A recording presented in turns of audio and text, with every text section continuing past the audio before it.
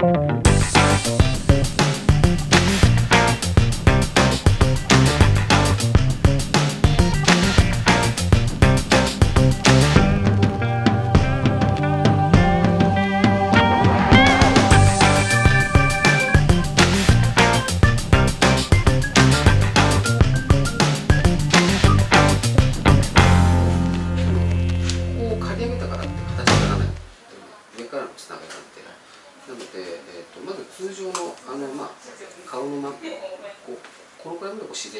然にこう刈り上げますっていうスタイルだと,、えー、とまずねシルエットを作るっていうのが最優先なのなのでその例えばだけどもう本当にもうえっ、とサラリーマンさんとかで、まあ、目にかからない方がいい耳がすっきり出ればいいあとはお任せみたいな人結構多いですよ。そうするとまずあのここからスタートするのが一番いい前髪から前髪だけがこう目にかからないので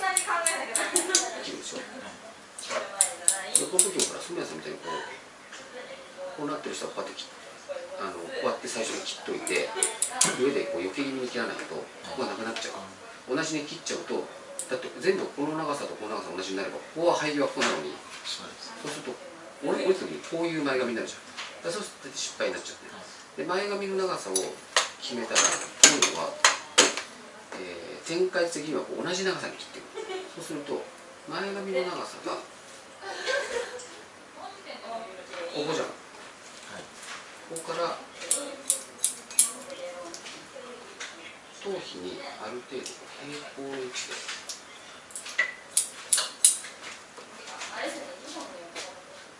まあ、モヒカンラインっていうんですけど、切りますね、そしたらこっちからそれをこう頭頭皮と平行に、まあ、これはあの自分で頭とか引き継いでくるのでショートレイヤーっていううちでいう項目になるので。ショートレイヤー。同じ長さで切っていくっていう。この時にこうなってる人はこう避け気味にこう切らないとなくなっちゃうんだけど。でその下もその下もつなげていきます。ある程度。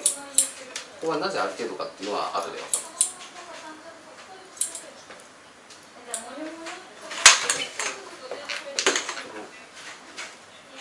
ここからつながってるんですね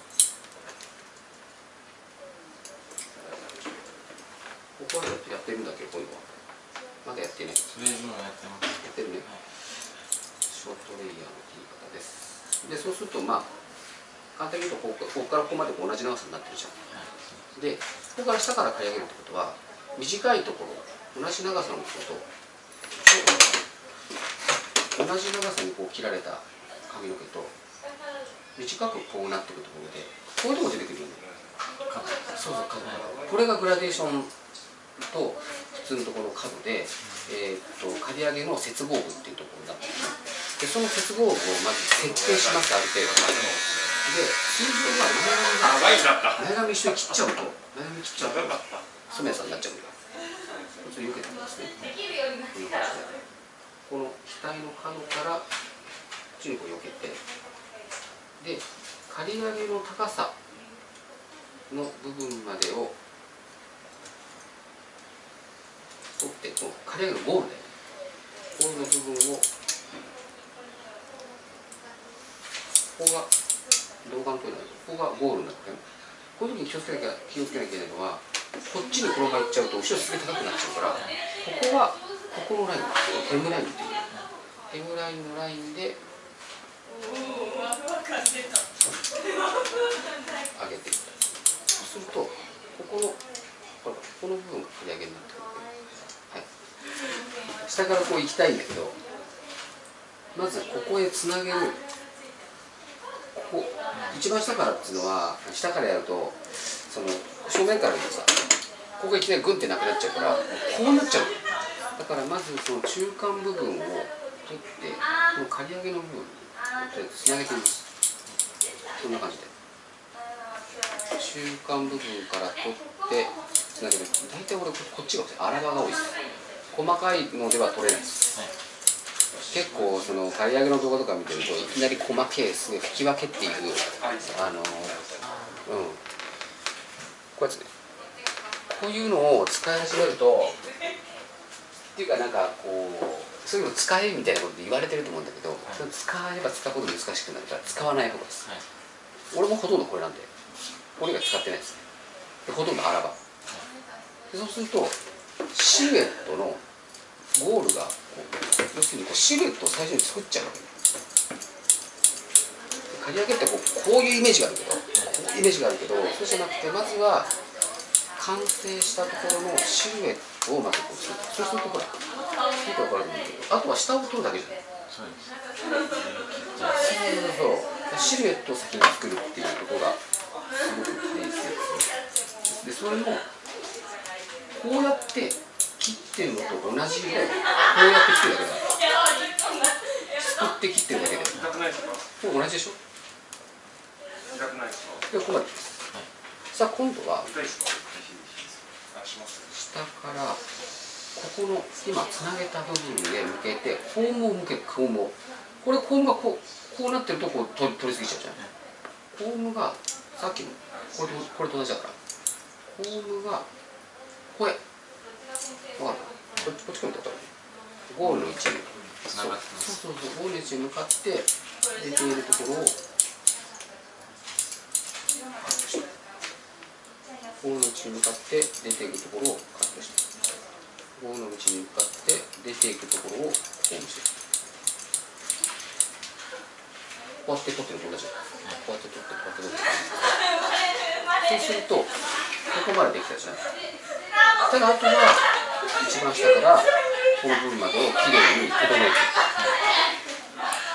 しっかりギリギリと入れて出てる毛を取っていくこうじゃなくてちょっとだけそうすると出てる毛をここに一番大切なのは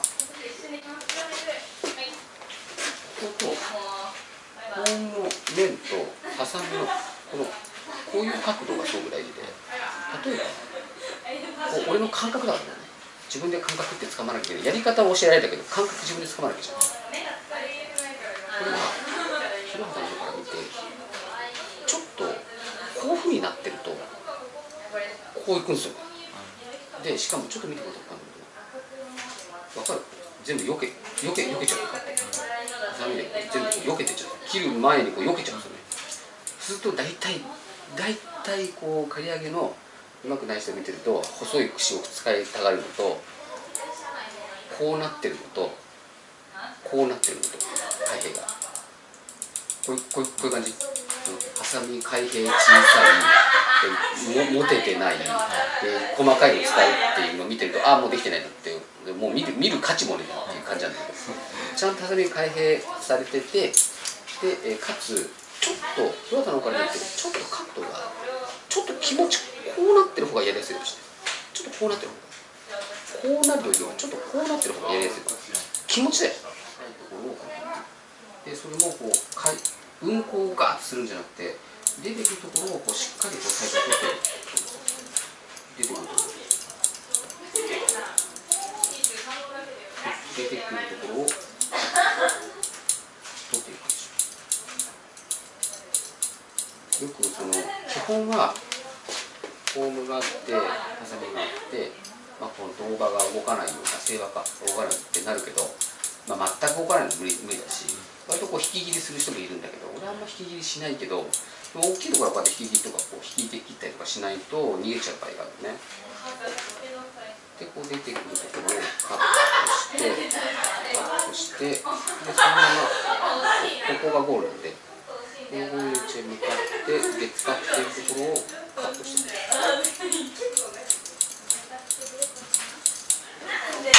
後ろも後ろもここゴールなんでこのゴールの位置このゴールの位置に向かって下から。ちなみに切れないハサミ飛びます。切れるハサミはこう消したに落ちるんだよ切れないやつ飛んでくる。そうなんです。そうそうそうそうそう。だから心臓の前っていうか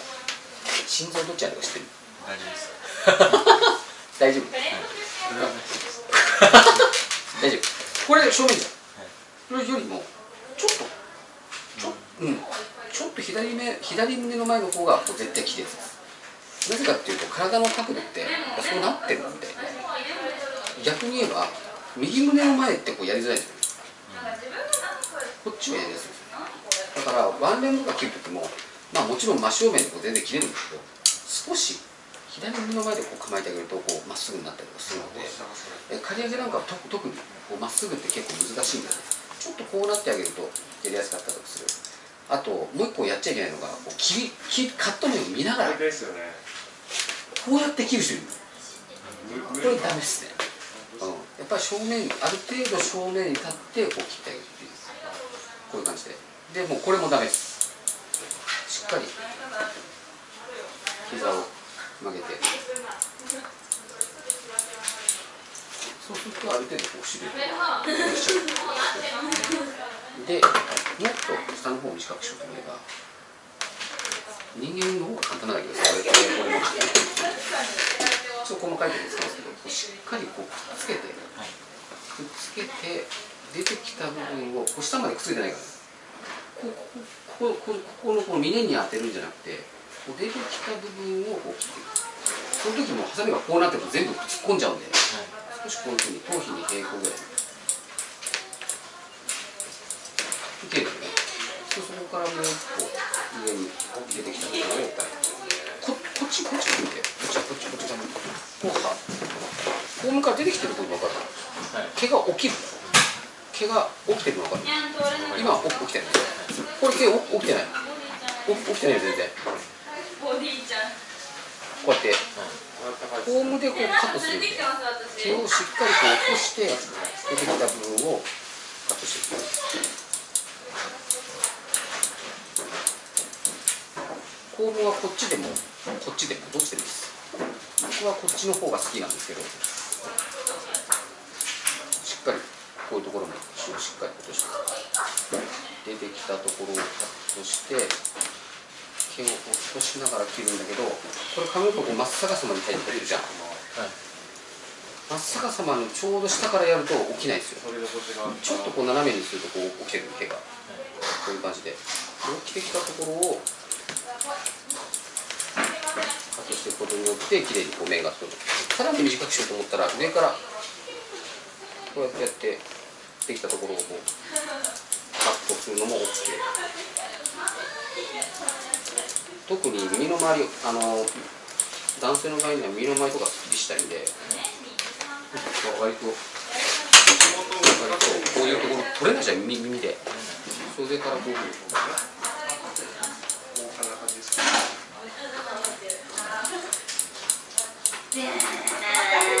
耳切らないで。で、こっち。おはようございますお。はようございます。で、最後にここから出てきたやつを。ちょっと軽くこうつなげてあげれば。染谷さんになる。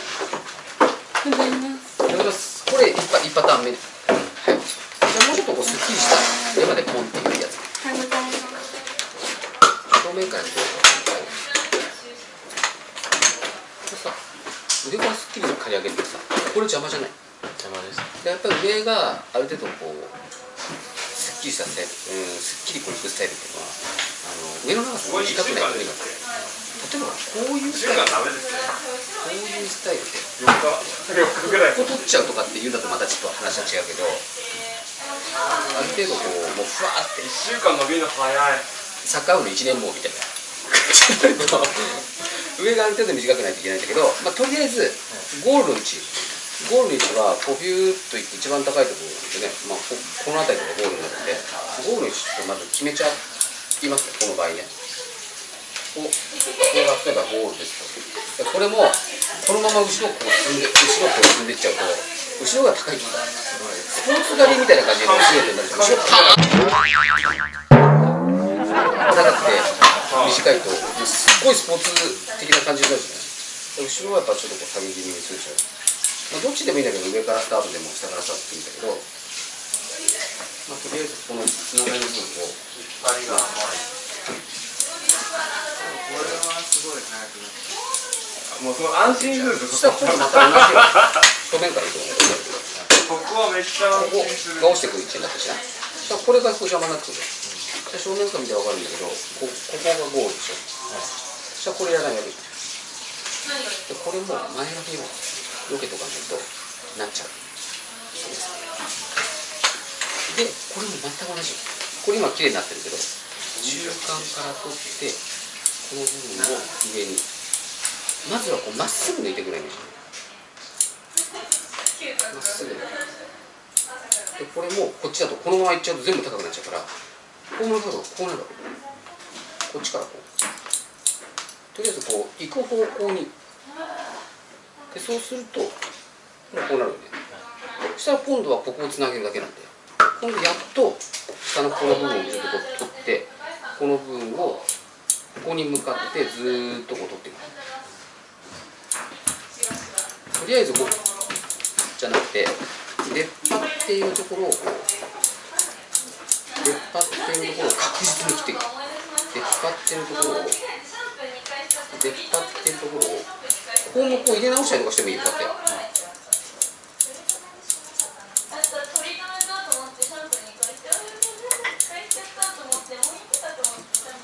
ハサミの回数を大きくしっか。り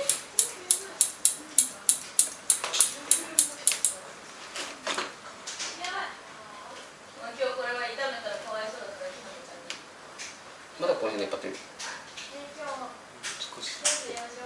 それを必ず見てじゃあこのここで引っ張ってるなっていうところにまたハサミをこう入れてる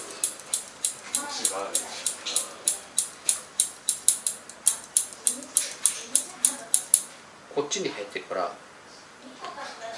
ま真下に入ってるからちょっとこう斜めにしたりとかして。こっちから。してこの時もこうじゃなくて必ずこう膝を使ってこっちなこっちっていうことによってこうだんだんだんだんこうまっすぐにしていく。っていうのの繰り返し。とりあえず。まずここの角度がすごく大体事っていうことねこうなったりこうなったりとかしない方がいい。ある程度こうぴっついたりとくっついてる状態。まあちょっと離れててもいいんだけどでもやっぱくっついておいた方がいいと思う。でどっちかっていうとこうよりもちょっとこうなってる方が刈り上げがうまい人が多い。だからこういう開放とかこれダメ。しっかり落ちない開放をしてで、えー左胸の前で一個一個の開閉をある程度っていうところを気をつけてやってってある程度こうウィークどんどん潰してちゃう、はい、もうここも枯れる枯れるし全部。ある程度指で短くしていって、えーえーと画像を見てこのくらいのさっきさ最初にやった画像あるじゃん。あれあんまないけどこっちまでそういうふうにして一回カットしてで次もうちょっと刈り上げ上げてそこまでこう刈っていってでさらに上げて刈っていってで上も上で上でも切って感じにしてで上やってみしますあと染谷さんとか、あのー下買ってるからみんな。あれバリカン突っ込まないでもう